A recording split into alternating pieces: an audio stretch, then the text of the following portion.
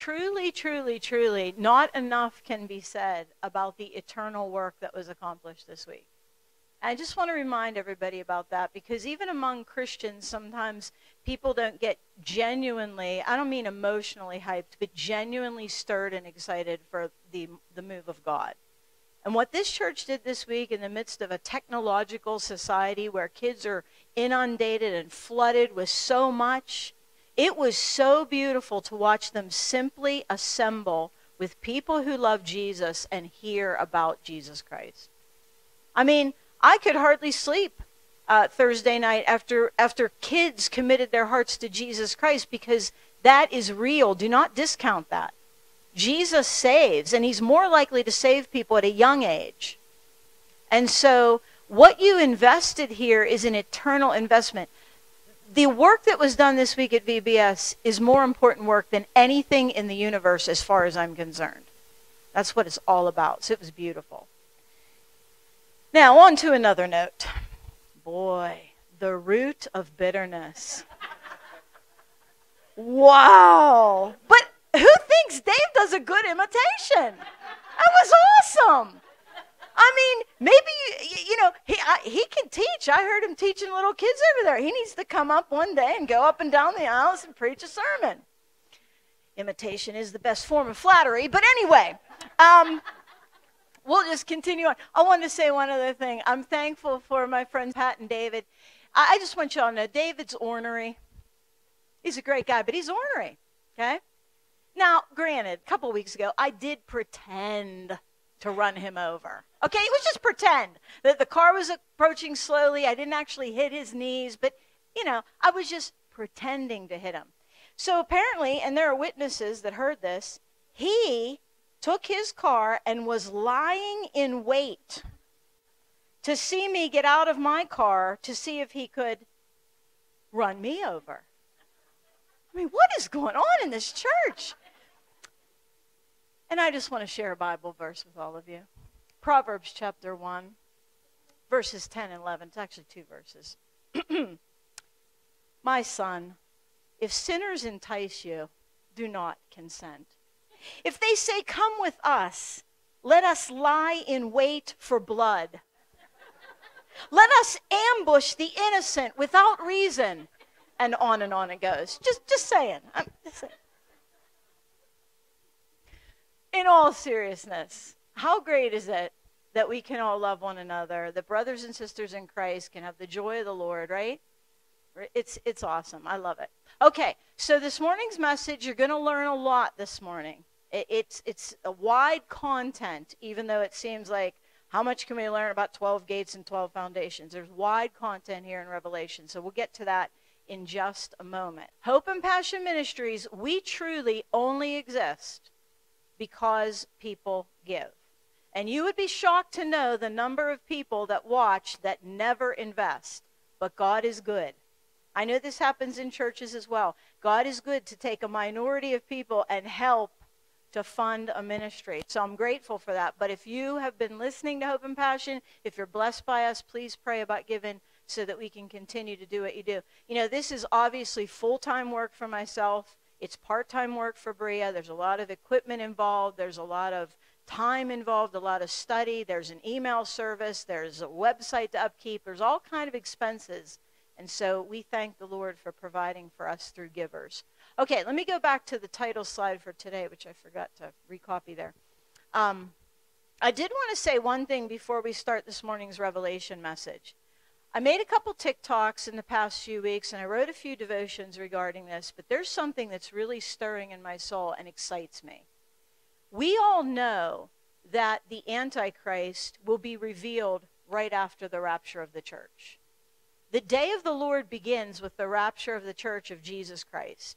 And we know that, well, for all we know, Antichrist is already alive and well and ready to step onto the scene. We don't know. I mean, you know, I think John has often told me, say, have you told me before Satan always has uh, someone prepared to be the Antichrist to inhabit, you know? And, and maybe he's ready. Because here's what I've been thinking this past week. I, I read a broad spectrum of secular sources on the threat of artificial intelligence. You know, all these people who've developed this artificial intelligence, and that's a whole other thing. But the bottom line is, I was reading how the United Nations, the Secretary General of the United Nations, and the European Union, which European Union is like a seedbed of that Western Confederacy from which I believe Antichrist will come. But these huge global uh, organizations are just warning of the terrible threat and saying things like the world, all governments must come together and mandate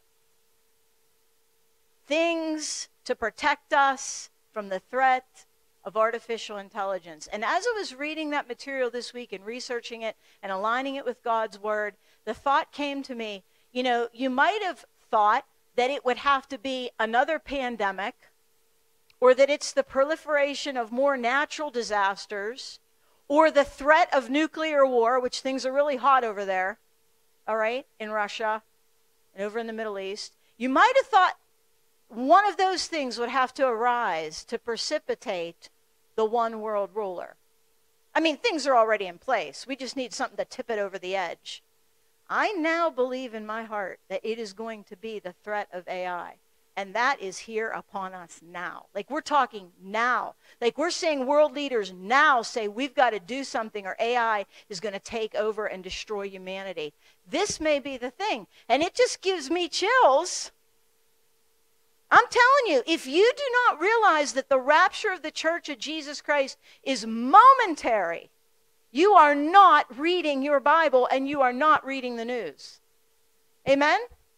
It's getting crazy. It's getting crazy. Not to mention the fact that artificial intelligence could explain a lot about the image of the beast that's able to speak to the world, hologramic image, you know, holographic image, you know, with what they're able to do with artificial intelligence and people's voices and their images.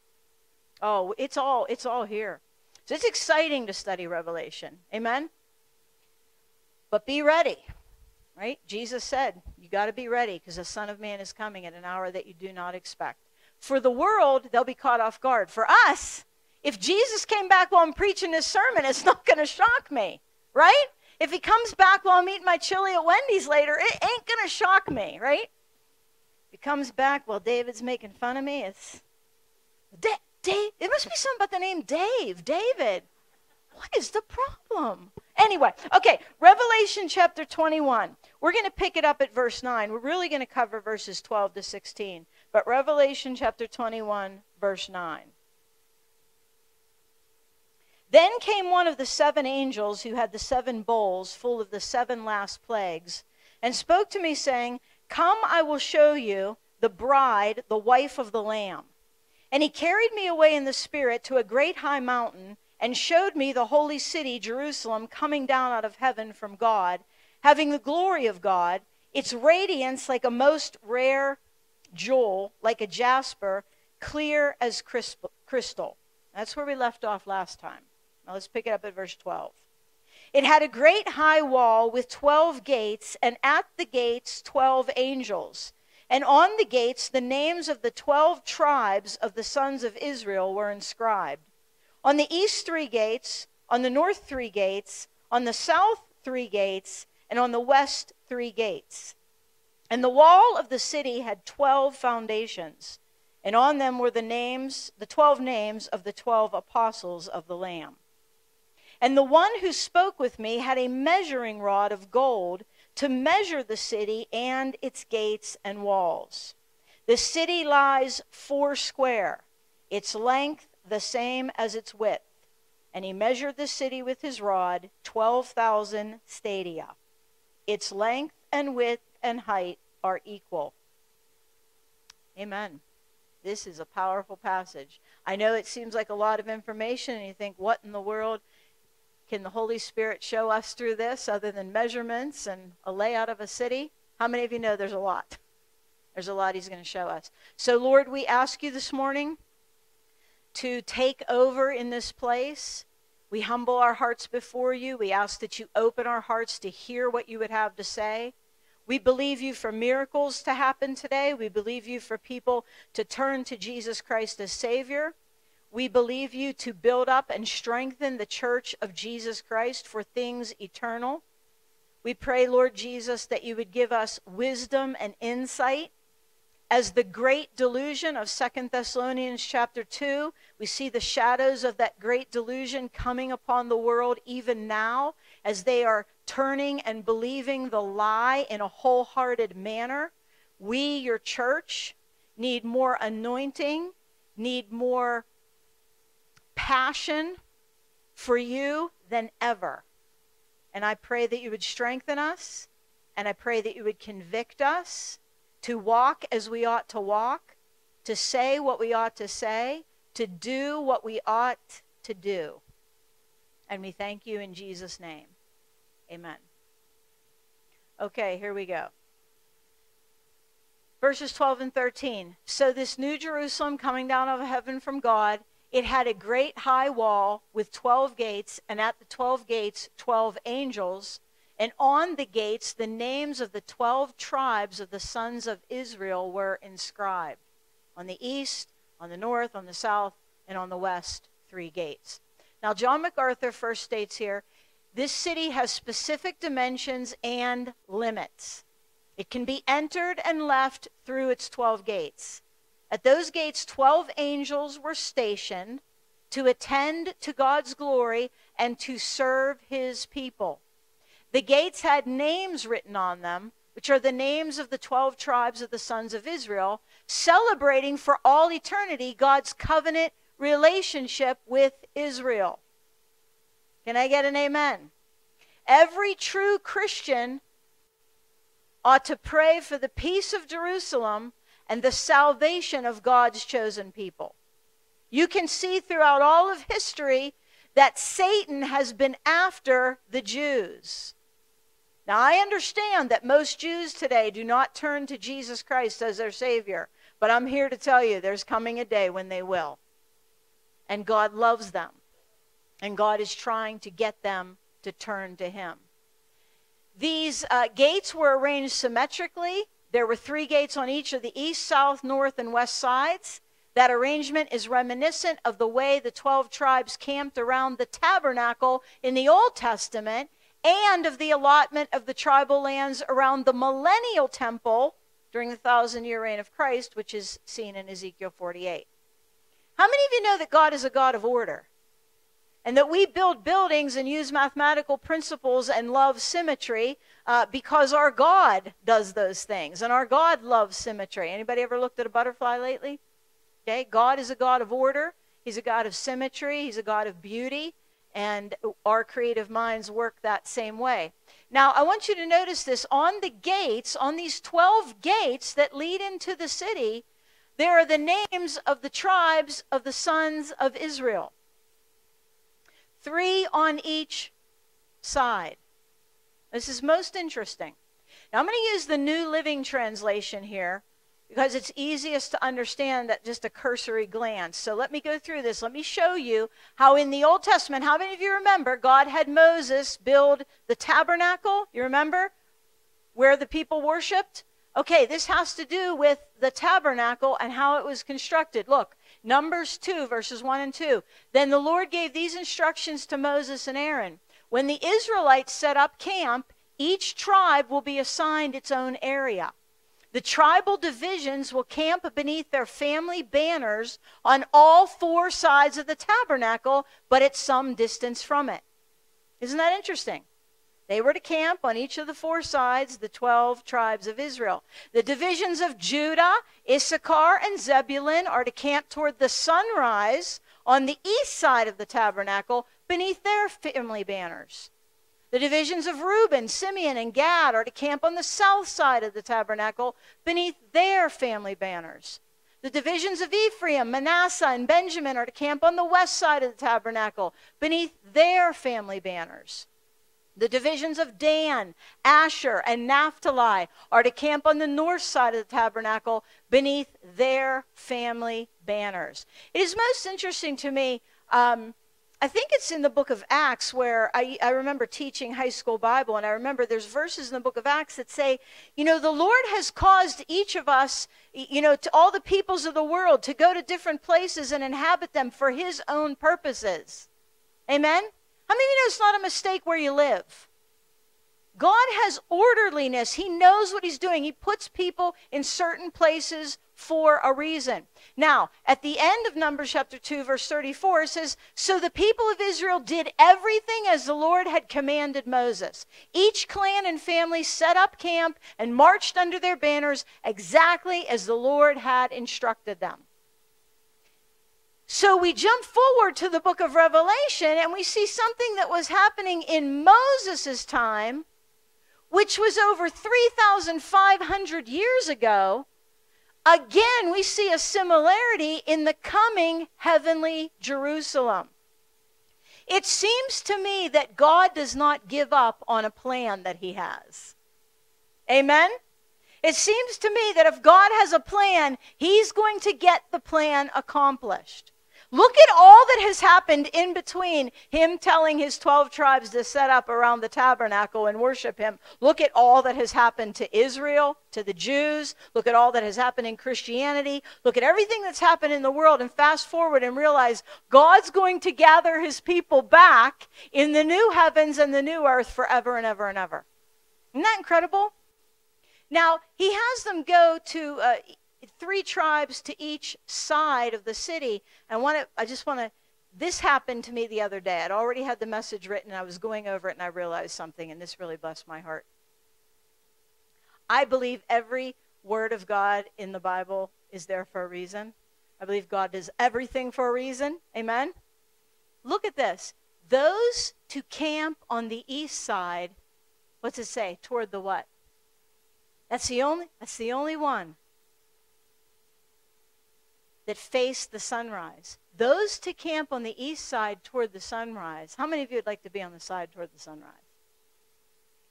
Shall be of the standard of the camp of, what does it say? Anybody? Anybody? I, I, I, saw that and I, I, didn't read it in any commentary. I, I haven't seen anything written on it, but I read it and I thought, hallelujah. You say, Shelli, why are you so excited about that? The camp of Judah, the tribe of Judah, was to be facing the sunrise. Weep no more. Behold, the lion of the tribe of Judah, the root of David, has conquered so that he can open the scroll and its seven seals. How many of you know Jesus is from the tribe of Judah? And it was no accident that God said, I want the tribe of Judah to face the sunrise. Because when you've got Jesus, your day has just begun. Amen? I believe that's what he was trying to say way back there, hidden in the Old Testament. When you fix your eyes on Jesus, you are facing your brightest day. Amen? 2 Peter 1:19. We have the prophetic word more fully confirmed, to which you will do well to pay attention, as to a lamp shining in a dark place until the day dawns and the morning star rises in your hearts. Who is thankful Jesus is our morning star? And it would do us well to pay attention to the prophetic word. Shame on Christians who say, I don't have the time of day to try to figure out the prophecy of the Bible. Come on. This is God's word. Amen. And we should pay attention to everything that God has written until the day finally dawns and the morning star fully rises, not only in our hearts, but in the world. So I love that. Judah was to camp toward the sunrise. Now, Bible goes on to say it had a great high wall. Charles Swindoll, Regarding the foundations of ancient cities, Alan Johnson notes foundations of ancient cities usually consisted of extensions of the rows of huge stones that made up the wall clear down to the bedrock. Giant stones. Jerusalem's first century walls and foundation stones have recently been excavated. Huge stones some of which are about five feet wide, four feet high, and 30 feet long, weighing 80 to 100 tons each, and going down some 14 to 19 layers below the present ground level, have been found. From the first century city of Jerusalem. That's incredible. The old city of it, you can still go visit. No wonder you can see still walls from Jerusalem. How they were built is incredible. So when the Bible says the new and coming Jerusalem has a great high wall, I don't doubt that, right? We don't doubt that. We can we can fathom that. Leon Morris said the city was surrounded by a great high wall, which means that it was secure and inviolable. Who is thankful that the enemy cannot violate your space? Is that a, is that a good truth? The Lord has, has mapped out a boundary for our life, and the enemy cannot violate that boundary. And in the new Jerusalem, in the new heaven and new earth, there won't even be an enemy to attempt to violate it. But look how good God is to show us the security that we have and that we will have forever. Now, this wall cannot be meant as a defense, for all the enemies have been destroyed, right? Great white throne judgment, the deposit of Satan, Antichrist, false prophet, and every unbelieving person into the lake of fire has already happened. There's no enemy left. And besides that, we found out its gates are never even shut. Who's longing for a day you don't even have to lock your door? Right? The walls are pierced by 12 gates, over each of which is set an angel. This will be a mark of dignity for an angelic gatekeeper is most unusual. The gates bear the names of the 12 tribes of Israel. This heavenly city is the true fulfillment of Israel's high calling. The ancient people of God are not forgotten in the final disposition of things. Now, if you've not been a Christian who's cared much about the Jews, you need to really be reading your Bible and you need to humble your heart before the Lord. Anti Semitism is a hideous, satanic thing. Any form of racism is, but particularly against God's chosen people. And I love to know that God has never given up on the Jews. You know, we live in a day and age when the majority of Jews have rejected Jesus Christ as Savior. And it just amazes me to think that in light of that, in light of the fact that God used the Jews to bring us the Bible, that Jesus came as a Jew, our Savior and the Word of God came through the Jewish people, it amazes me that they have turned their back on God.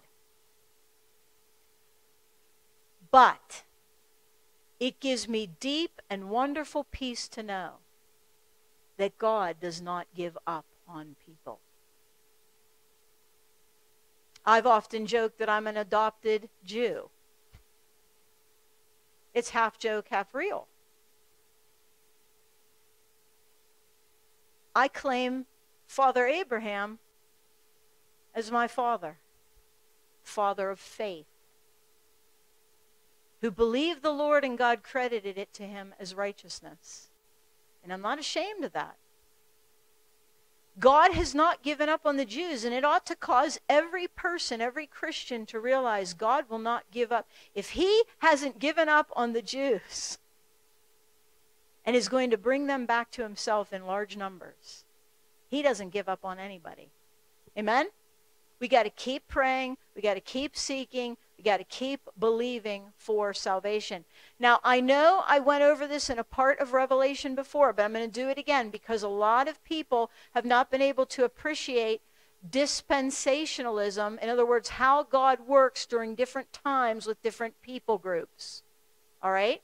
So, Romans, to the book of Romans, chapter 11, verse 25.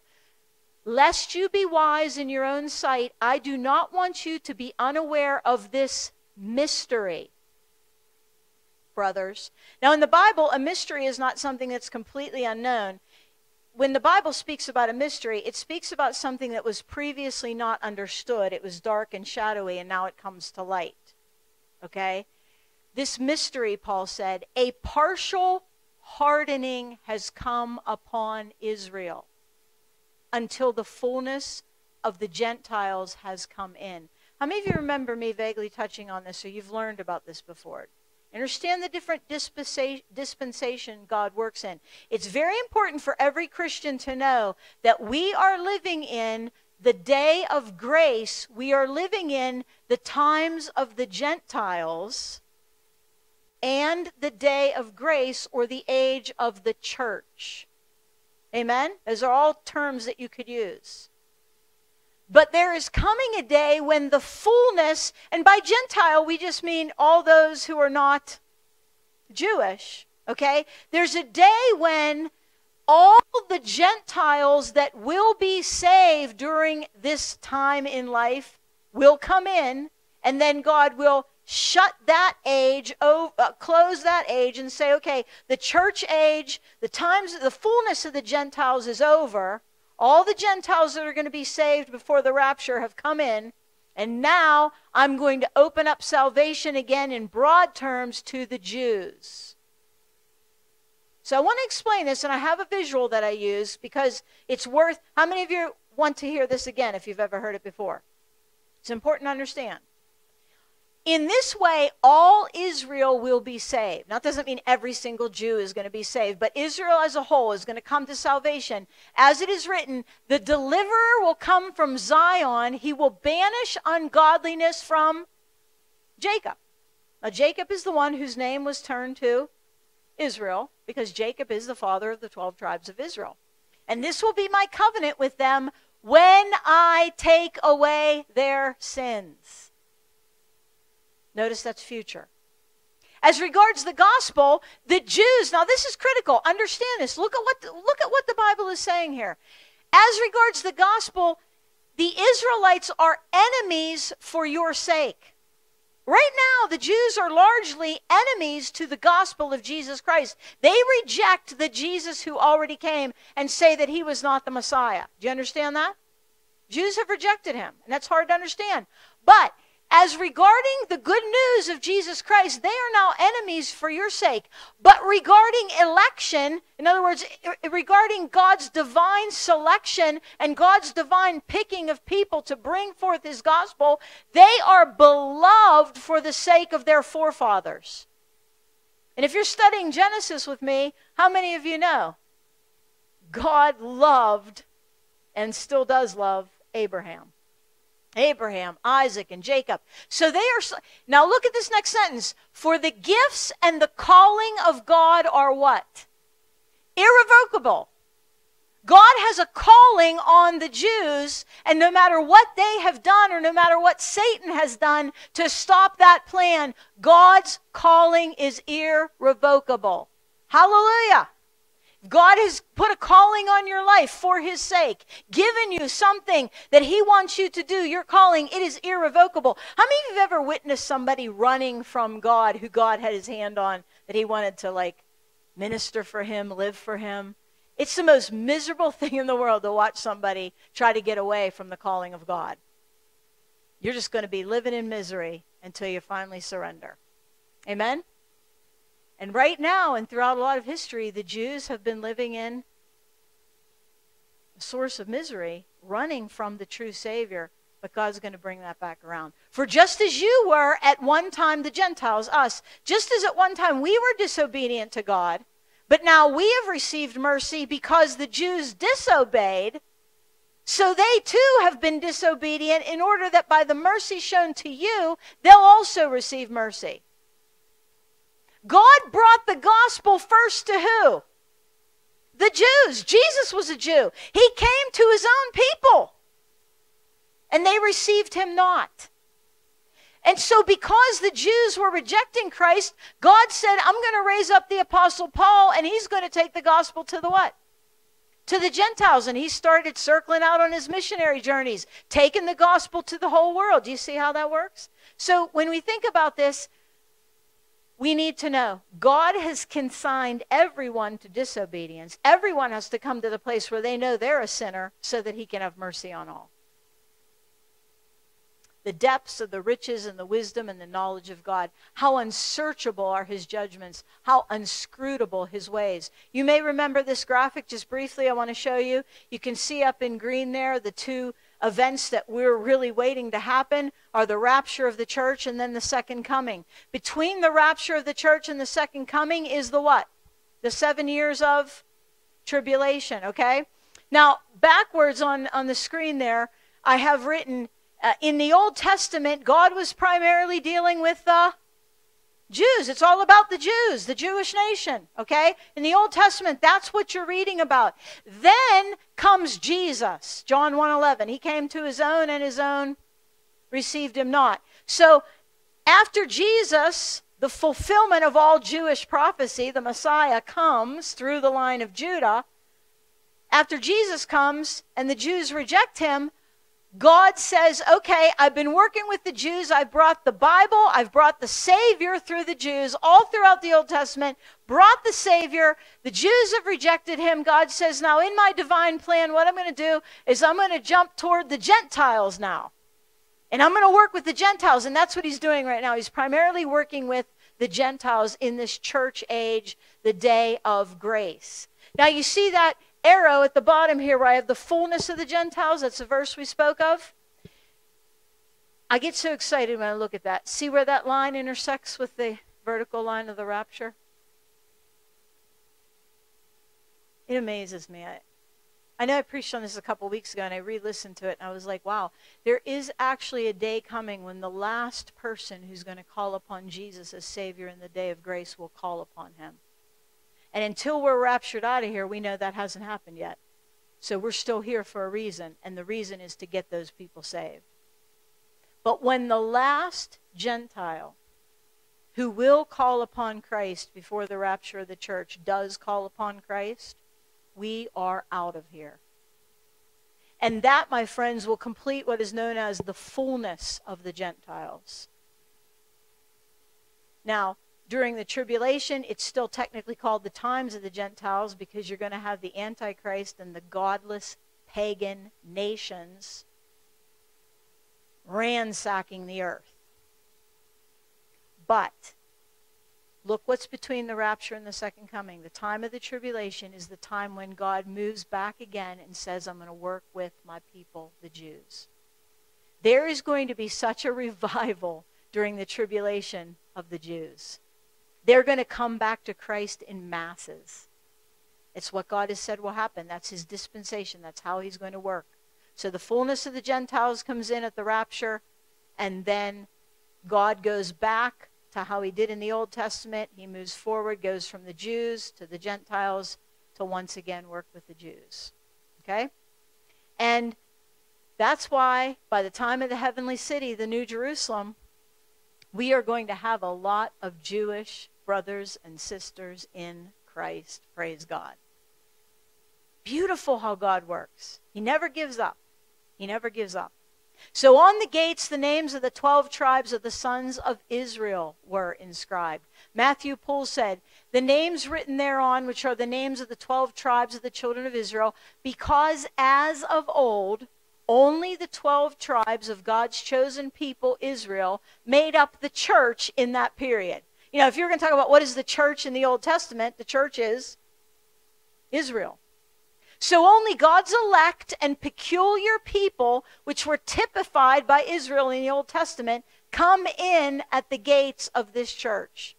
It is very observable how God affects the number of 12 in the affairs of his church. 12 tribes of Israel, 12 apostles.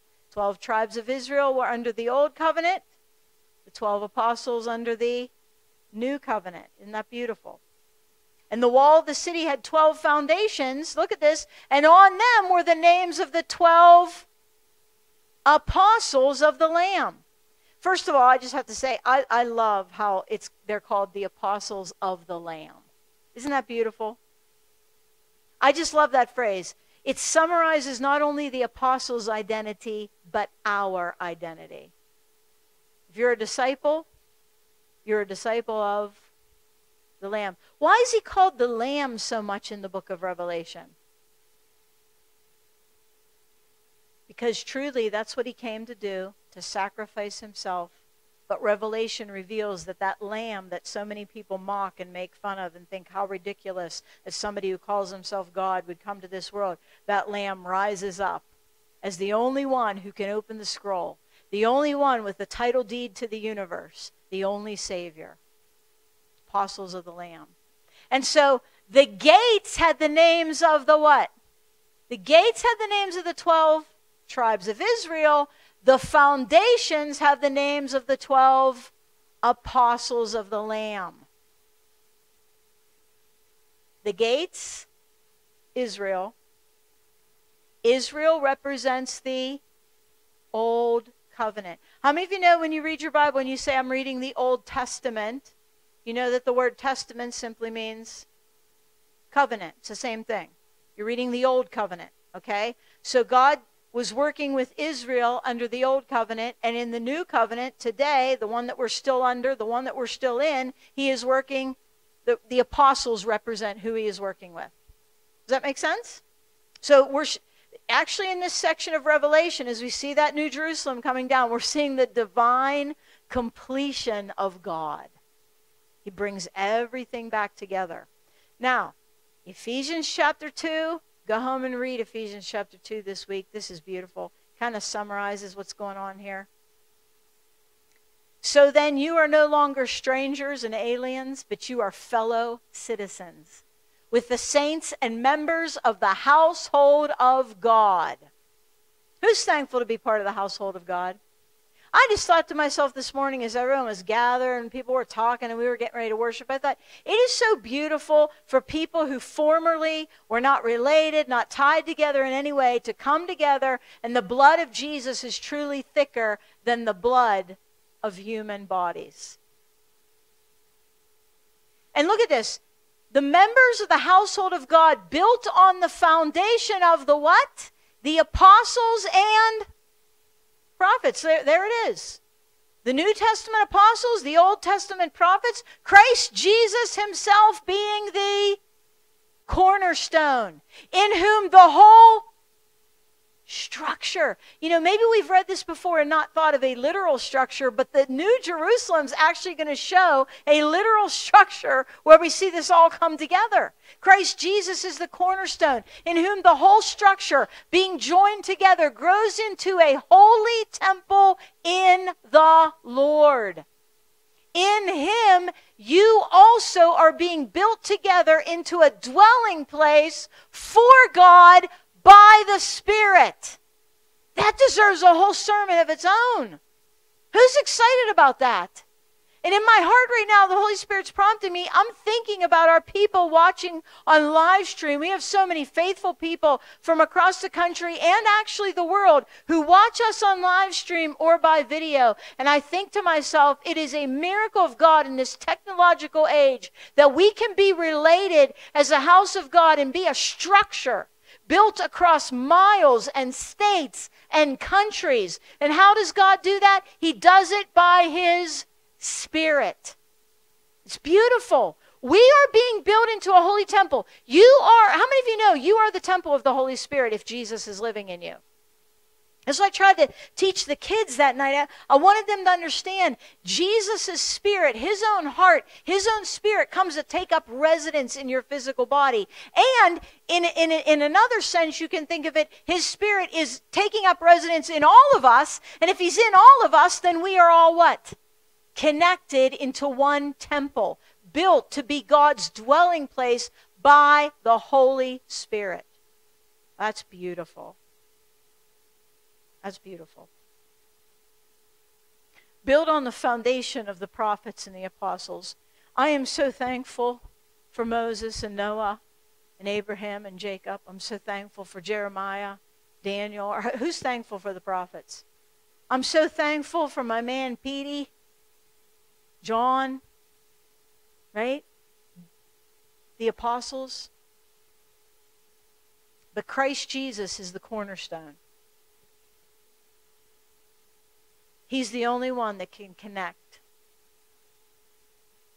He connects everyone at the corner.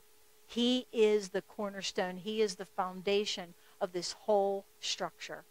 Charles Swindoll, upon the gates were the names of the 12 tribes of Israel, representing the totality of the Old Testament people of God. Upon the foundations were the names of the 12 apostles of Christ, representing the New Testament church of God.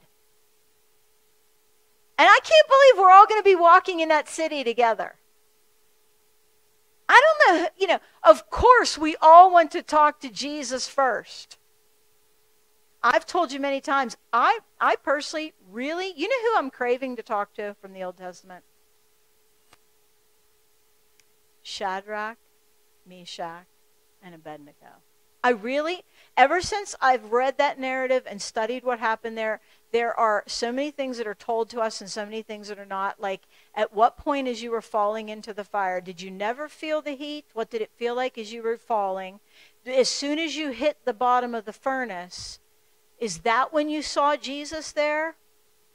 Were you, like, when did he enter? And when Nebuchadnezzar looked in and saw the four men walking around in the fire, this is the part I want to know.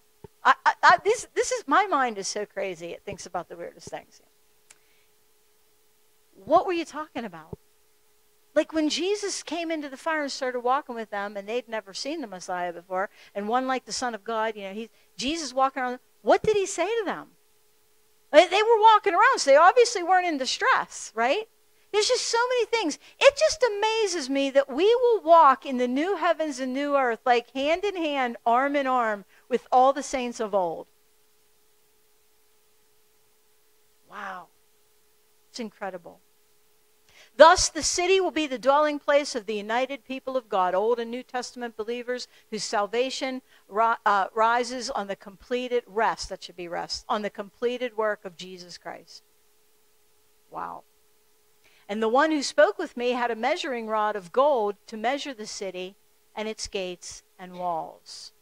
Now let's talk about this for just a minute. This is a lead up to next week, by the way, when we talk about the cubic structure. But I do want to deal with a few things here. The angel, the one who was speaking to John, had a measuring rod of gold to measure the city and its gates and its walls. Now, people, there's so many people, you know, what is the rule of Bible interpretation? Does anybody know? When you read the Bible, you take it literally everywhere you can unless you know it's not meant to be taken that way. And so, so many people, everything in Revelation is just a symbol. No, no, no, no, no. There are some things that are symbolic, just like in the Gospels. There are some things that are symbolic. When Jesus says, gouge your eye out if you sin. You know what I mean? But what more, Randy Alcorn kind of said it this way. I think I have his quote coming up here. What more could God do if he wanted us to know that the city was real and actually had measurements? Like, why would he do this? Why would he show John an angel that has a measuring rod to measure the city if he's like, oh, this is all just a symbol, so don't really worry about the deets? That's what the kids say, the deets. I'm trying to be cool. The details. You know, it's just a symbol. Don't really worry about the deets. That's what Taya would say. But when I try to use cool words like she does, she makes a face at me. It's not a pretty one either. Okay. But anyway, He's telling him, I want you to measure the city. So the Bible says he also measured its wall, 144 cubits by human measurement, which is also an angel's measurement. Now, if you look here, I jumped forward to verse 17 to show you that when the angel's measuring the city, the Bible is very specific to say that as he's measuring the wall, for instance, it is, it is human measurement which is also an angel's measurement. Does, does everybody see this? What more could God do to make us know this is not a symbol? This is not something to make you hope for a greater thing. This is an actual reality. The angel here is measuring by angelic measurements, but the angelic measurements are equal to what? Human measurements. We have no reason to doubt this. He actually couldn't have done more to make it real and solid to us. Randy Alcorn. Even though these proportions may have symbolic importance, this doesn't mean that they can't be literal. In fact, Scripture emphasizes that the dimensions are given in man's measurement. If the city really has these dimensions, and there's no reason that it couldn't, what more could we expect God to say to convince us? Like, why would he put in the Bible, get out, you know, a tape measure here, and by the way, I'm using real inches and feet, and measure it? Isn't that exciting? I'll tell you, the Bible is so exciting if we learn to read it for what it actually says and quit putting somebody's spin on it. You know, maybe somewhere in your past you heard somebody say, oh, Revelation's so mysterious and hard to understand. And then you get that in your head and you're like afraid of it, right? How many of you are thankful we can just read the Bible for what it says? It's beautiful.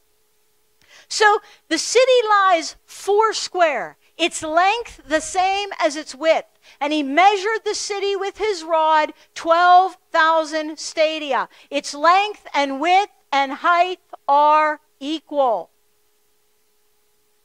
In the New American Standard Bible, I want to give you how these measurements are interpreted. New American Standard Bible, which is a great and very accurate translation, the city is laid out as a square, and its length is as great as the width and he measured the city with the rod. He actually measured it with this tool 1,500 miles. Its length and width and height are equal. Now, uh, some scholars translate it in some translations as 1,400 miles, some as 1,500 miles. Okay, we're not going to worry about that. It's around 1,500 square miles, but this is a 1,500 square mile cube. And you might be picturing, okay, 1,500 square miles length and width, but it's also the height. And you'd think, well, we're going to need some elevators in there because that's a lot of, you know, like they build ceilings really high, but your head usually doesn't hit the ceiling, right? That's a lot of space up there. So you think, and I don't like elevators. Anybody else with me? Who else hates elevators? Am I the only one? Isn't that a, a, common phobia? Who? Levi. You don't like them either? Oh, you're just laughing at me. Oh, okay, thanks. Yeah, he's like, I go, you, you, oh, you're just laughing at me. He's like, yeah. I'll, I recently had to stay at a hotel and we were on like the third floor. Stairs every time. I went to my, my, dad's kidney doctor with him this past week, and I was so disturbed. It was only one level, but I couldn't use the stairs. I had to use the elevator. Oh, creeps me out. I don't like elevators. So I'm thinking to myself, you know, I would think, 1,500 miles. This isn't heaven to me if the elevator has to go 1,500 miles to get me to the top floor to visit Henry. You know what I mean?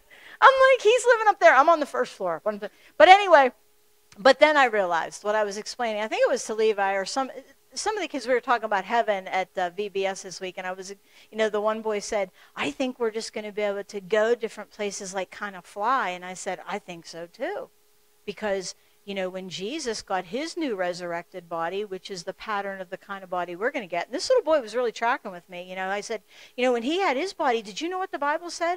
He came in and he walked through a closed door and a wall. Like he walked right through it to get into his friends. And he kind of was able to just transport through the wall, even though he had a body. You know, you know, he's like, yeah. And then I said, and when he left in his new glorified body, the one like we're going to get, when he was going to go up to heaven, he didn't have to go in a rocket ship. What did he do? To send it up. And I do believe that we will be able to see, I won't have to take the elevator. I'll be like, okay, I want to go to the 864th floor. Up I go, you know. Anyway, that's fun stuff to think about. But the fact of the matter is, this is a cubic city, which is massive. The New Living Translation says when he measured it, he found it was a square as wide as it was long. In fact, its length and width and height were each 1,400 miles. By the way, Levi, you know, I know you're laughing at me, but hey, your name is not Dave.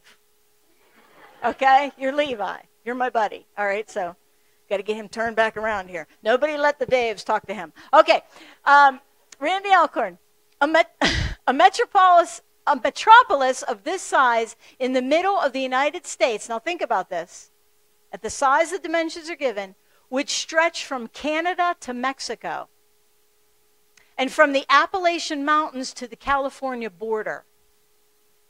The New Jerusalem is all the square footage anyone can ask for. Now remember, the New Jerusalem is just the what? The city. It's just the city of the new heaven and new earth. The city stretches from Canada to Mexico, that big it would be, from the Appalachian Mountains to the California border. But remember, it's that high as well. We don't need to worry that heaven will be crowded. The ground level of the city will be nearly 2 million square miles, just the ground floor. This is 40 times bigger than England, the ground floor.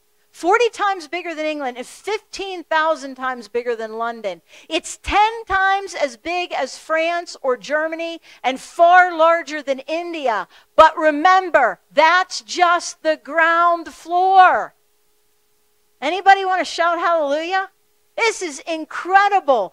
Given the dimensions of a 1,400 mile cube, if the city consisted of different levels, we don't know this, but we would guess, and if each story were a generous 12 feet high, the city could have over 600,000 stories. If they were on different levels, billions of people could occupy the New Jerusalem with many square miles per person. But remember, that's just the city. We're not going to stay in the city all the time. We're going in and out its gates, exploring the whole new universe that God has made. Charles Swindoll, the size of the city in John's vision is staggering. Nearly 1,500 miles along one wall. At this point, the dimensions of the city seem to cross the bounds of credibility, but we must remember two things. First, the extraordinary width length, and height of the city were no less incredible in, in John's day than they are today. My goodness, if we think of 1,500 miles, we've got fast cars and airplanes, right? In John's day, they were walking or riding horses. What do you think it meant? As he was sitting there scripting that on the island of Patmos, he was probably like, What? In fact, one might say that in John's day, when 1,500 miles seemed to many like the distance of the entire inhabited world, the number would have sounded even more incredible to them than it sounds to us. Second, John himself seems to have understood these measurements to be human and literal, not spiritual and symbolic. So, if the measurements are literal, how do we account for the massive size of the city relative to the surface of the earth? Imagine a city that big plunking itself down on this sphere, right? But when you think about the new heaven and new earth, God is going to remake this earth. We found that out. And one thing that I teach in, and you can get on my YouTube channel and access it, but I did do that message here some years ago. 10 things everyone ought to know about the end of the world. And one of the points in that is all the geographic changes that the Bible says will happen during the tribulation and into the millennium. Lots of things are going to shift and change. So we don't have any idea how that new earth is going to look, how big it's going to be. Critics are correct that this massive city could never fit on the present earth, but it's it will be perfectly proportionate to the new earth which God will fashion for the eternal state, the new heaven and new earth. We're never told how large the new earth will be, but we already know that it will be geographically different from the present earth having no sea. And we talked about that. Okay, so remember, things are going to shift because you know, Jerusalem, the throne of God, has a river flowing through the middle of it. Remember, we talked about that? So there's going to be lots of changes. Uh, we don't know exactly what the new earth will look like, but we know this city is going to be massive. Furthermore, when we realize that this is the capital city of God's new creation and that its origin is from God Himself, we should not be surprised at its incredible size. It will be the eternal dwelling place of countless saints and innumerable angels.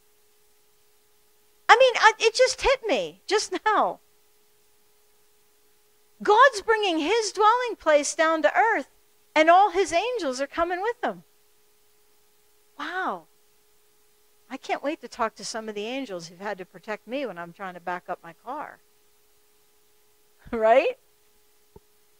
Dave's laughing.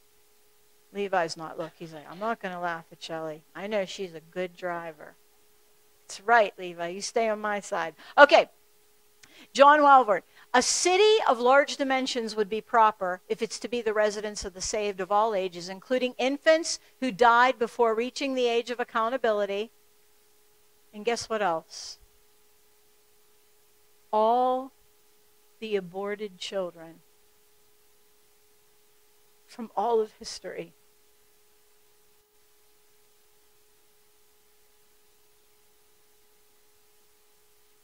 That's incredible. And God has them, each and every one. All the miscarriages, all the people in other countries who have died and gone and nobody even knew or remembered, his little children, people who were saved that nobody else knew. It's incredible. It's not necessary, however, to hold that everyone will live continually within its walls throughout eternity. The implications are that there is plenty of room for everyone and that this city provides a residence for the saints of all ages. And that was it. I wasn't sure if that was my last slide or not. You know, that brings up a good point. We as Christians, the issues of our day, we need to speak to them, we need to think about them. Amen? So, since that kind of plopped into my mind, let me just say I have counseled with and talked to women who have had abortions, who are saved, who've come to Jesus Christ, who have put that sin under the blood. And so I want to say that there is grace for every sin. Amen? There is grace for every wrong. But I think the thing that we need to remember as Christians and never let go of is at the point of conception, we have a soul, we have a human being. And every one of those babies, while God is going to hold this country so responsible for what we're doing. There's so many things that have gone tilt, so many perversions. We need to, in love, preach the gospel of Jesus Christ. I I never am a person to preach to pound on certain sins to produce guilt. Because I firmly believe that if I preach the gospel of Jesus Christ and his word, sentence by sentence, the Holy Spirit brings conviction. Shelli Prindle doesn't bring conviction. It's not your job to pound somebody over the head, try to tell everybody every sin they're committing. That is not our job. The Holy Spirit brings conviction. The devil brings condemnation. So if you're on the live stream and you're sitting in this place and you feel condemned by some past sin, that is not of God. Conviction is of God. Conviction is different than condemnation. Condemnation pushes a person to hopelessness and a feeling that you can never be reconciled to God, that you can never be forgiven.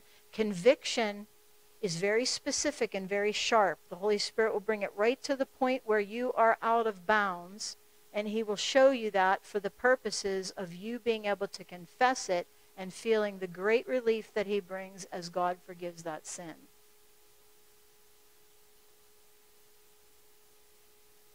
I just feel that right now.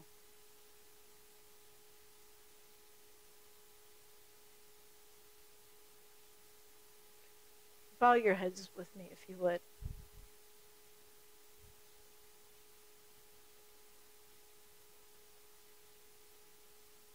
Lord, I never thought of that before until the end of this message. That this beautiful new city will be inhabited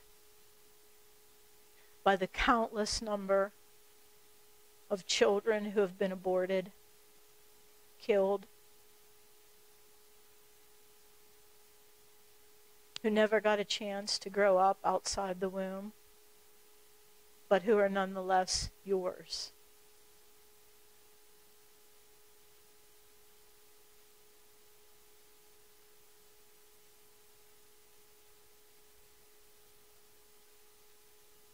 Lord, I was watching the news this morning, and ironically, it was about a structure that's being erected, a an apartment building, a complex that's being put up that's going to be, in particular, dedicated to perverted lifestyles for senior citizens.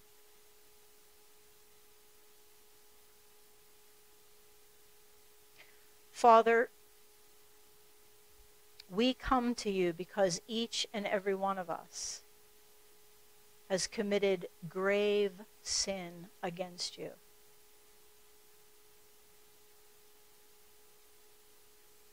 We could name thousands upon thousands of sins that we all have committed, and yet,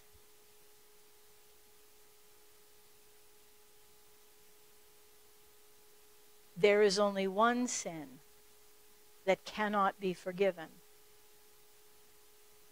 and that is the sin of rejecting Jesus Christ as Savior. So listen to my voice through the live stream, the recording, and in this place, and know this. There is forgiveness for every sin except the sin that you refuse to confess and put under the blood of Jesus Christ. Lord, I ask right now that many people who are feeling the conviction of your spirit towards a certain area in life, whether it's in the past or it's in the present, let us yield that to you right now in the name of Jesus Christ. And I pray that when someone sincerely does that right now, that your blood would wash over them, that your relief and your peace would come upon them. I thank you, God that you are in the saving business. I thank you, Lord, that you restore our hearts to you even when they have been wayward, even when we have transgressed or walked over your rules, your laws, your commandments. You are so good to save. I thank you for the hope of heaven. I thank you that you continue to reach out to your chosen people, the Jews. I thank you that together we are the united body of Christ if Jesus is our Lord. Thank you for the moving of your Holy Spirit this morning. In the Savior's name we pray, whose name is Jesus Christ. Amen.